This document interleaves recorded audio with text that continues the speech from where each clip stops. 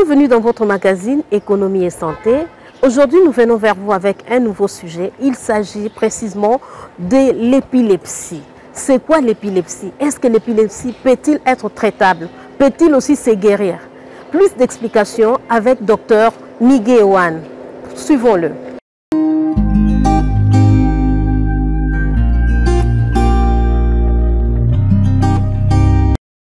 Je suis le docteur euh, Ewane Nengoto Mig. Et je suis dentiste de formation et actuellement là, comme je vous reçois aujourd'hui, c'est dans ma casquette d'initiateur ou soit le fondateur de l'ONG FOURA qui s'occupe des épileptiques.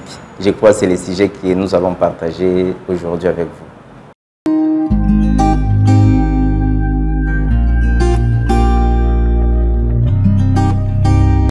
Bon, l'épilepsie en soi, c'est défini, soit c'est... Nous le connaissons beaucoup plus comme... Euh, ça se présente comme euh, la survenue des crises épileptiques. Si on veut maintenant comprendre bien c'est quoi la crise épileptique. Donc, euh, si on veut parler de la crise épileptique, là, nous allons maintenant évoquer ce que nous appelons l'expression euh, anormale ou soit excessive de signaux que le cerveau envoie au niveau du corps. Donc, il y a un dysfonctionnement au niveau des systèmes nerveux. Donc, euh, les neurones sont surexcités et il y a des signes qui sont envoyés de manière un peu anormale euh, dans l'ensemble du corps. C'est ça qui caractérise un peu la crise épileptique, si on peut parler de manière simple pour que ceux qui sont euh, devant les petits écrans puissent euh, connaître. Parce que je ne saurais évoquer le mot scientifique, sinon beaucoup ne comprendront pas.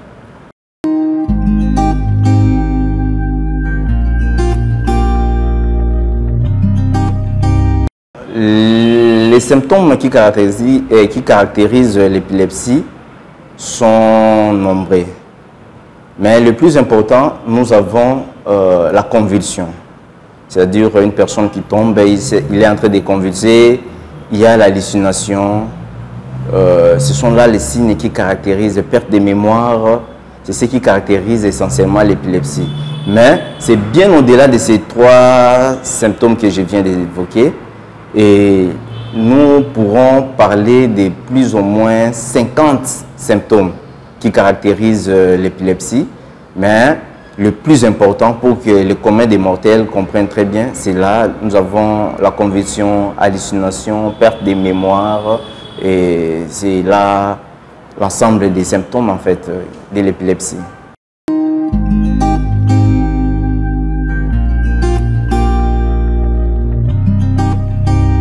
L'épilepsie en soi est liée à plusieurs causes.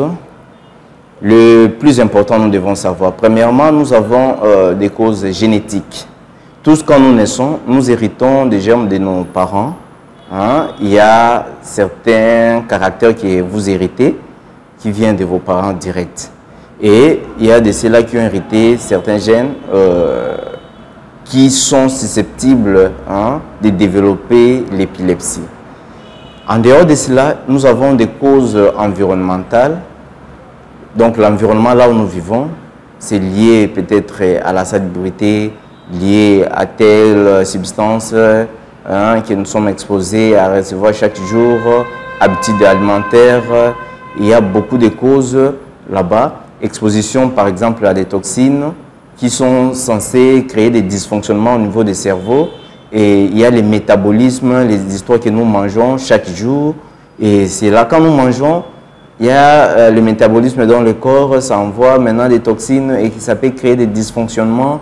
En dehors de cela, il y a des causes traumatiques, donc euh, des accidents domestiques, vous tombez, euh, votre tête est heurtée peut-être au mur, au ciment, au pavement là, et vous avez des traumatismes, et à la longue, ça crée des problèmes au niveau des cerveaux, d'où vous pouvez développer ces crises épileptiques.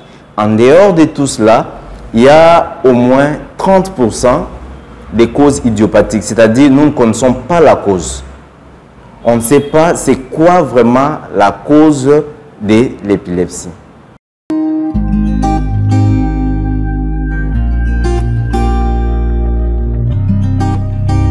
Euh, l'épilepsie en soi se caractérise beaucoup plus euh, par rapport aux crises. Hein. Sur le plan clinique, sur le plan clinique, c'est que nous pouvons dire, nous avons l'épilepsie généralisée et l'épilepsie localisée. Quand on parle de généralisée, c'est-à-dire, euh, par exemple, là, j'ai les cerveaux. Hein. Ça, c'est le modèle d'un cerveau. C'est-à-dire, nous avons les deux hémisphères qui sont atteints.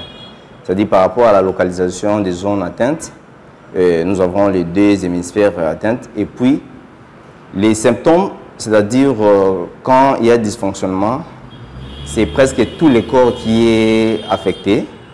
Et vous verrez que la personne va présenter des crises vraiment violentes. Et puis, euh, vous allez voir, euh, il y aura tendance peut-être à conviser beaucoup plus fort qu'une personne qui a l'épilepsie localisée. Et c'est presque tout le corps qui est atteint. On parle des épilepsie localisée, c'est-à-dire il y a une zone bien euh, spécifique du cerveau qui est atteinte. Et les crises là, ça sera en fonction de la zone euh, atteinte. Vous pouvez avoir raideur d'un membre, donc euh, il est là parfois assis, mais les membres sont supérieurs, hein, il y a de raideur, il n'arrive pas à bien bouger. Parfois, tu as des hallucinations, tu es là assis, mais tu ne vois pas très bien, tu as des troubles de vision, et parfois de l'audition, une douleur à un membre quelconque. Donc, euh, il y a multiples formes euh, d'épilepsie. Et c'est là que je pourrais dire, beaucoup de gens développent l'épilepsie sans le savoir. Nous tous, par, exemple, on peut dire, à un moment donné de la vie, on a, a développé une crise d'épilepsie, mais c'était temporaire, et puis c'était passé, qu'on sort. Euh, mais il n'y a pas que les signes là de convulsions et de manière généralisée, tous les corps est atteint, non. Donc euh, nous pouvons voir de manière générale des types généralisés et localisés. Bon, l'AVC, c'est un accident euh, euh, cardiovasculaire. Donc c'est plus les vaisseaux hein, qui alimentent les différentes parties du corps et qui, qui seraient atteints. Donc il n'y a plus moyen que le corps fonctionne très bien, vous êtes paralysé, un membre, ce n'est pas le cas. À l'épilepsie, donc les crises, c'est temporaire. C'est pour un temps. Ça peut avoir quelques minutes, parfois quelques secondes. Hein. Vous voyez flou pendant quelques secondes et puis tout revient euh, à la normale. Mais pour l'AVC, c'est une paralysie comme telle. Euh, mais pour l'épilepsie, c'est temporaire. Mais avec le temps, vous verrez une personne qui fait une crise à une fréquence peut-être euh, une fois le mois, deux fois le mois. L'autre dira que non. Chaque fois quand il y a la lune, c'est ce que nous avons aussi, hein, là où nous étions, à l'intérieur, c'est à chaque fois qu'il y a la lune qui sort directement, nous voyons euh, ces crises-là, l'enfant présente des crises, c'est parfois une fois le mois. Et l'autre dira c'est chaque semaine, l'autre dira c'est chaque jour. Donc, à, force d'avoir des crises, vous verrez que les cerveaux, Hein, euh, comme je peux dire, c'est fatigue. S'il y avait parfois des crises chaque trois mois, chaque un mois, chaque semaine, chaque jour, et vous verrez que c'est devenu fréquent. Dommage, quand j'étais dernièrement ici à l'intérieur, quand nous étions dans le cadre de notre euh, ONG, j'ai trouvé des enfants qui faisaient plus de 10 crises la journée. Je vous dis, c'était horrible. Et il était devenu vraiment asthénique, il n'arrivait plus à manger, il ne savait plus se tenir debout. Donc on devrait tout faire pour lui parce que le cerveau était déjà fatigué à force des crises et ça ne pouvait plus répondre comme tel.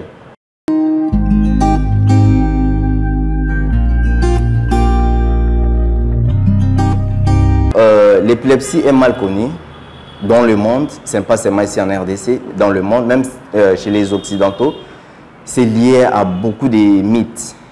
Donc on, dit parfois euh, c'est un sort qu'on a jeté à la famille ou soit à la personne qui souffre. Parfois ce sont des mystiques, soit euh, des sacrifices que les parents ont pu faire pour s'acquérir des richesses. Il y a beaucoup d'interprétations liées à cette maladie. Mais aujourd'hui, grâce à la science, nous sommes parvenus quand même à comprendre euh, cette maladie Ce n'est pas lié à tout ce qu'on est en train de dire. C'est une maladie comme toute autre et il y a aussi des traitements spécifiques par rapport à cela. Concernant le traitement de l'épilepsie, nous avons euh, les traitements médicaux. Le traitement médical a au moins trois volets, je peux dire, euh, euh, des solutions. C'est-à-dire, cela a d'abord tendance à diminuer la fréquence et la teneur même euh, des crises.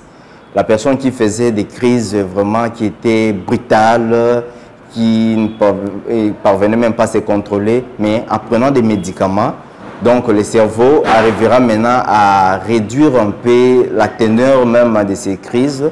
Et quand on parle des fréquences, vous verrez, comme nous étions dernièrement à l'intérieur, on a fait euh, moi une étude expérimentale et les traitements qu'on avait soumis à ces jeunes gens, beaucoup plus c'était des enfants.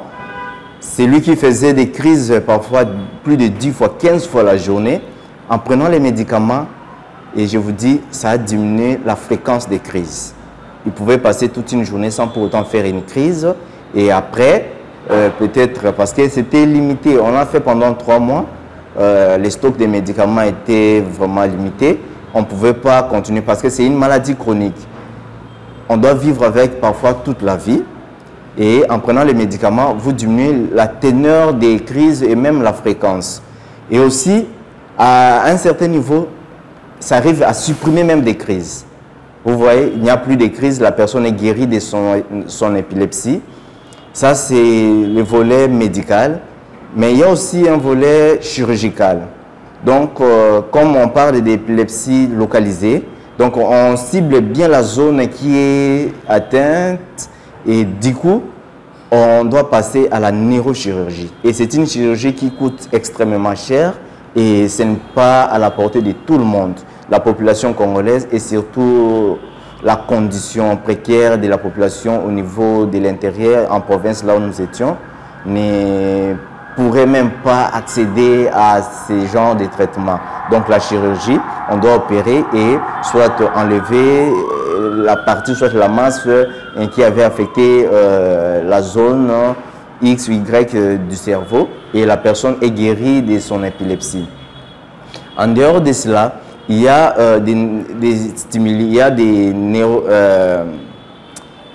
en termes simples, je ne sais pas comment je peux dire, il y a des trucs Hein, comme des capteurs, on fixe au niveau des cerveaux.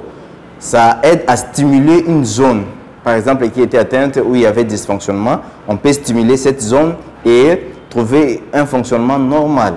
Donc, euh, c'est un peu ça. En dehors de cela, aujourd'hui, actuellement, là, nous parlons de l'intelligence artificielle. Et c'est parmi des nouvelles technologies qui aident vraiment à la prise en charge des épileptiques Aujourd'hui, euh, les scientifiques ont pu développer euh, des mécanismes ou soit euh, un système qui pourrait alerter la survenue d'une crise. Donc, quand vous êtes porteur de ces dispositifs-là, ça peut déjà alerter que les cerveaux, parce que quand on fait des crises épileptiques, ça survient d'emblée comme ça, vous ne préparez pas et ça vient. Mais avec l'intelligence artificielle, les dispositifs-là, directement, ça contrôle le fonctionnement du cerveau on sait déjà que non, quand il y a peut-être montée de telle, telle, telle, telle euh, hormone, donc il y a une crise susceptible qui pourrait être déclenchée, du coup ça alerte et on peut déjà anticiper pour que la personne ne puisse pas avoir des crises.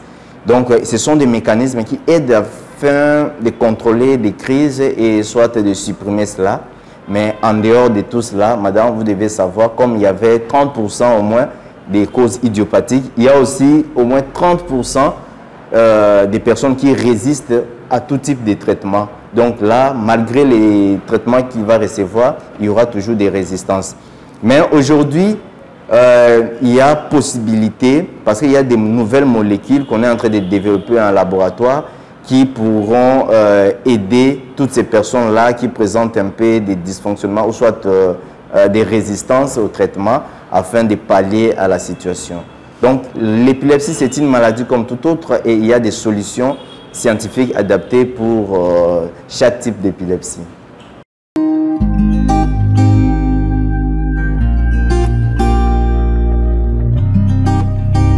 Bon, normalement, madame, euh, les centres qui s'occupent euh, des épileptiques, c'est comme les personnes atteintes des maladies au niveau du cerveau, hein, des fous et consorts. Donc, ce sont des neurologues, hein, des neurochirurgiens, toutes ces personnes-là, des neuropsychiatres qui sont censés prendre en charge toutes ces personnes-là. Parce que ce sont des maladies euh, qui atteignent les cerveaux, qui attaquent les cerveaux et ce sont eux le mieux placés pour euh, les suivre. Donc, il y a beaucoup de centres ici en RDC, euh, là où on prend en charge les épileptiques, mais ce qui est sûr, comme c'est une maladie chronique et les traitements nécessitent vraiment une longue durée, donc les traitements coûtent beaucoup plus cher les médicaments là, ce ne sont pas des médicaments euh, génériques comme nous avons à moindre coût, mais ce sont des médicaments qui coûtent cher et que vous êtes censé prendre ça chaque jour. Et du coup, ça demande beaucoup. Et comme ailleurs dans les pays développés, vous verrez dans les centres, parce que tout le monde n'a pas le même type euh, d'épilepsie. Quand vous venez, il y a, comme dans tous les centres, vous allez passer à la consultation, on va vous poser certaines questions pour voir à quand cela a été déclenché. C'était causé par exemple à un traumatisme. Parfois, la naissance à l'époque, euh, quand les enfants naissaient, il y avait des ventouses. On devait tirer la tête de l'enfant. Cela a causé beaucoup de torts aux enfants. Et ça a créé des dysfonctionnements au niveau du cerveau. Et ces enfants-là, plus tard, ont eu beaucoup de problèmes. Donc, il y aura des questions comme ça pour euh, voir un peu la genèse de la chose. Et à partir de cela, vous allez passer d'autres examens euh, radiologiques, peut-être. Hein, vous passez au scanner, au IRM, ou soit d'autres dispositifs électroencéphalogramme pour voir l'activité du cerveau, comment ça fonctionne. Et à partir de cela, on pourrait maintenant déterminer de quel type d'épilepsie vous souffrez et adapter maintenant les traitements à ce type d'épilepsie. Euh, personnellement, je dirais par rapport à notre euh, organisation ONG Foura Epilepsy Association. Nous nous sommes euh, dit, quand nous étions à l'intérieur au cours d'un voyage en vacances, c'est là qu'on a constaté beaucoup de cas d'épilepsie à l'intérieur. Et la grande euh, stupéfaction était que cette population n'avait accès à aucun type de traitement. Il n'y avait pas de centre approprié pour la prise en charge de ces personnes-là à l'intérieur. Même ici à Kinshasa, vous verrez que non, ces centres-là euh, ne répondent pas aux besoins. Il y a peu de centres neuropsychiatriques ici à Kinshasa pour couvrir l'ensemble de la population. Si ici à Kinshasa, déjà, c'est vraiment trop peu et en plus forte raison là-bas en province, il n'y a pas de spécialité là-bas. Donc là, ce n'est que la médecine générale qui s'occupe des gens. Et vous verrez, la grande partie de la population se déverse à la aux tradis praticiens. Donc ce sont eux qui prennent en charge euh, les différentes maladies là-bas à l'intérieur. Et toutes ces personnes-là euh, se fiaient beaucoup plus à ce que disaient ces tradis praticiens. Et la plupart des cas, ce sont des charlatans parce qu'ils ne maîtrisent pas la maladie, ils tentonnent il vous soumet à des traitements parfois eux-mêmes ne maîtrisent pas. Et si ça marchera ou ça ne marchera pas, vous verrez, j'ai trouvé une maman qui m'a parlé. Ça fait au moins 4 ans. Il avait deux, elle avait deux enfants. Et là, elle a plutôt tout perdu. Donc, euh, toute l'économie, la maman ne pouvait plus vendre tout ce qu'il avait, euh, et le papa et la maman, tout ce qu'ils avaient comme richesse en famille, ils ont pu vendre pour euh, soigner ses enfants. Et ces tradis praticiens ont soutiré tout ce que la famille avait et il n'y avait pas de solution. Quand nous sommes venus avec les traitements expérimentaux que nous avons eu à donner à ces enfants-là, ils étaient soulagés. Mais comme euh, vous le savez, nous, on pensait avoir 10, 20, 30 cas, mais quand on a pu recenser, nous étions dans les 3000 cas et c'était au-delà de nos capacités. On ne pouvait pas prendre en charge toutes ces personnes-là. D'où l'idée était venue de pouvoir monter euh, cet organisme, cet ONG, pour voir si on trouvera des financements auprès du gouvernement, des bailleurs de fonds et des personnes de bonne volonté afin de venir en aide à toutes ces personnes. Voilà l'épilepsie c'est une maladie qu'on peut soigner, mais beaucoup plus liée à des connaissances ou soit des mythes qui aujourd'hui rendent difficile euh, la possibilité de prendre même en charge parce que la plupart des gens se fient beaucoup plus euh, à la magie, la sorcellerie et consorts et d'où la solution c'est auprès des tradis praticiens, auprès des magiciens qui pratiquent des choses vraiment on ne sait pas expliquer. Voilà les nœuds du problème parce que nous avons centré notre action à l'intérieur et les molécules vraiment pour euh, prendre en charge ces personnes-là coûtent extrêmement cher. Et ici, chez nous, ce ne sont pas des molécules fabriquées euh, ici sur place, c'était plus des molécules importées. Et je ne fais pas la publicité des marques ou soit des firmes pharmaceutiques, mais je dirais de manière générale, euh, la molécule qui coûtait moins pour euh, une prise en charge de toute une année, euh, c'était plus ou moins 100 euros. C'est-à-dire 100 euros, vous avez la dose pour toute l'année. Et je dirais, ce n'est pas chose facile vu la population qui nous visitait. La plupart des gens, même trouver à manger, c'était problème dans ces foyers-là.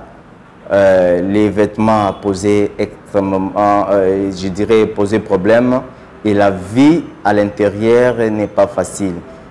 Si la famille n'arrive même pas à bien manger, se vêtir et ne pas scolariser les enfants, en plus forte raison dépenser chaque année au moins 100 euros pour euh, trouver les médicaments.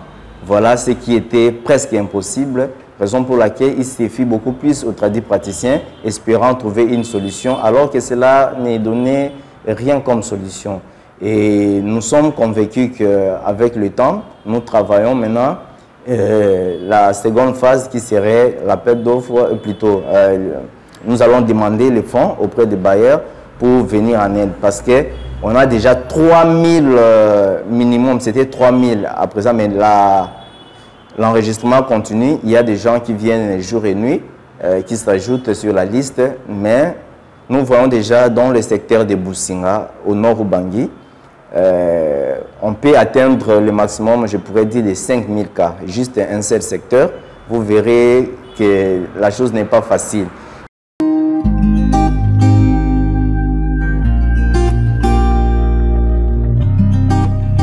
Bon, en République euh, démocratique du Congo, ce qui est sûr, il n'y a pas de documentation que nous avons trouvée jusque-là qui détaille un peu les régions et la fréquence même euh, de cette maladie. Vraiment, il n'y a pas de documentation et notre euh, ONG a cette responsabilité de pouvoir recenser partout en République démocratique du Congo les cas d'épilepsie et voir comment on peut les soumettre à un traitement moderne. Parce que si on prend 100 euros multiplié par 3000, vous voyez que nous avons au moins 300 000 euros que nous devons euh, dépenser chaque année pour ces secteurs seulement. Et cela demande, euh, en dehors de la prise en charge médicale, il y a aussi la réintégration. Parce que la plupart des cas, ce sont des enfants. Ils ont pu euh, stopper avec l'école, ils ne sont pas scolarisés, les taux d'alphabétisation, je dirais, c'est vraiment déplorable là-bas à l'intérieur, dû à cette maladie. Une fois que l'enfant pique une crise là-bas à l'école, on les chasse et puis on ne veut plus les voir parce qu'ils ont toujours en tête euh, cette idée-là que c'est une maladie contagieuse. Et c'est ce qui est répandu partout. Les gens croient que non, quand j'ai l'épilepsie et que je suis en contact avec toi, directement tu as cette maladie. Or, ce n'est pas le cas. Et nous avons aussi la responsabilité de recenser de sensibiliser, de les soumettre à un traitement médical et voir comment on peut les intégrer socialement, les apprendre un métier et aussi venir en aide socialement avec le vêtement et les biens de première nécessité.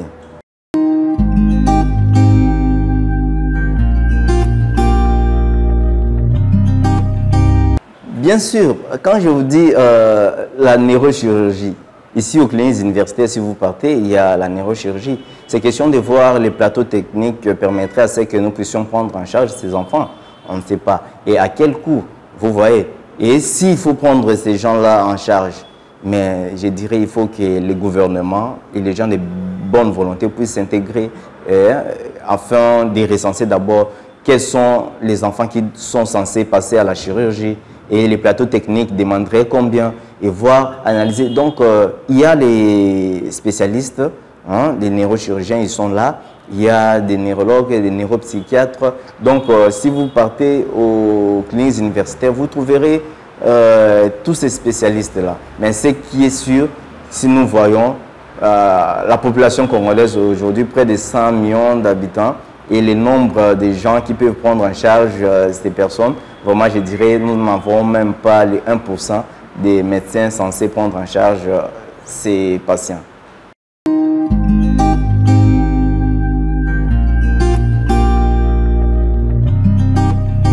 Le premier message serait celui-ci. Les gouvernements, je sais que le président de la République, lui, qui se soucie des quotidiens du peuple congolais, pourrait bien avoir aussi un œil dans ces secteurs. Je dirais, l'épilepsie est parmi les maladies qui atteignent le cerveau. Donc, je dirais troisième maladie qui attaque le cerveau. Et ici en RDC, dans certains coins de la République, ces cas-là vraiment sont fréquents et nous demanderons que les gouvernements puissent nous aider. Il y a certaines choses que les gouvernements parfois ne peuvent pas être directs euh, avec ces populations, mais nous, les organisations, telles que nous sommes là, nous sommes en contact avec ces gens et nous sommes en train de travailler, voir comment apporter une solution. Mais si le gouvernement nous prêterait main forte euh, en nous aidant afin que nous puissions atteindre les objectifs fixés, ça va pallier aussi euh, aux besoins des Congolais. Et je crois bien que le Congo sera aussi euh, soulagé dans ces fléaux parce que l'épilepsie, si vous avez un enfant épileptique à la maison, c'est toute la famille qui est affectée et les parents parfois leur quotidien serait changé. Et si tu es un adulte que tu travailles, tu as l'épilepsie, une fois, je dirais que ton travail là devient hypothétique et vous ne serez pas en mesure de bien euh, remplir euh, vos obligations. D'où le gouvernement doit nous prêter main forte. Les gens de bonne volonté, ils sont nombreux. Je ne pourrais citer les noms, mais je sais qu'à travers euh, la chaîne qui nous restaure aujourd'hui, vous serez en mesure de nous contacter et de nous prêter votre attention afin de pouvoir pallier à cette situation. Vraiment, c'est le l'épée que je pourrais dire pour cette maladie.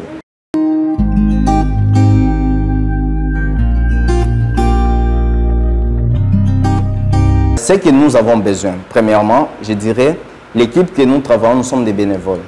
Nous n'avons aucun soutien euh, quant à ce qui concerne le matériel, les déplacements, tout ce qui est logistique. Personne ne nous aide et nous sommes des bénévoles souciés de nos frères et sœurs qui souffrent de cette maladie. Les gouvernements est censé nous aider pour la prise en charge, surtout médicale, qui coûte beaucoup plus cher. Donc, disposer un fonds pour venir en aide à ces populations-là atteintes de l'épilepsie. En dehors des volets médicaux, nous avons aussi besoin des volets, dans le volet social, c'est-à-dire le bien des premières nécessités. Entre autres, les habits, euh, des fournitures scolaires pour les enfants qui doivent euh, retourner à l'école. Car s'ils reçoivent bien les traitements, donc ils sont comme des personnes normales et peuvent euh, continuer à fréquenter l'école sans problème. Mais faute des moyens, comme ils n'ont pas les traitements, ils ne peuvent pas aussi fréquenter l'école parce qu'ils ont des crises à tout moment. Si nous sommes fournis en médicaments et que les biens de première nécessité arriveraient euh, vraiment entre les mains de toutes ces personnes qui sont dans les besoins. Vraiment, c'est une structure bien organisée et nous travaillons pour le bien-être de la population atteinte d'épilepsie. Et en dehors de cela, il y a aussi des personnes, nous sommes bien sûr bénévoles, mais il y a des gens que nous pouvons aussi recruter afin de pouvoir nous aider dans ce sens-là. Et nous devons avoir une motivation pour pouvoir euh, les aider. Et une école, nous avons vraiment besoin d'avoir une école de formation. La plupart de ces gens euh, ont déjà dépassé l'âge scolaire. Si on les soutient médicalement, ils n'ont plus de crise, ils ont maintenant une vie normale. Ils, auront besoin maintenant de s'intégrer socialement, mais ils doivent avoir euh, un métier qui pourrait les aider hein, à subvenir à leurs besoins. D'où nous demandons à la, euh, à la première dame surtout, elle qui s'occupe euh, des enfants et des gens qui souffrent vraiment de pouvoir avoir un aide. Il y a déjà un documentaire. J'espère que peut-être on pourrait diffuser euh, chez vous ici euh, qui résume un peu la situation des Boussingala où nous étions. On a eu à documenter un peu quelques faits et je crois que ça va vous renseigner beaucoup plus sur l'ampleur de cette situation en République démocratique du Congo et surtout à Boussinga en particulier. Merci beaucoup. Eh bien, chers téléspectateurs, c'était votre magazine Économie et Santé. Je rappelle qu'aujourd'hui, nous avons parlé de l'épilepsie. Cette maladie dont plusieurs pensent qu'il est d'origine mystique. Mais vous avez suivi que l'épilepsie peut être traitée, et non seulement être traitée, mais il peut aussi se guérir. Vous avez suivi plus d'explications avec le docteur Miguel Ewan. Au revoir et je vous retrouve prochainement pour un nouveau numéro.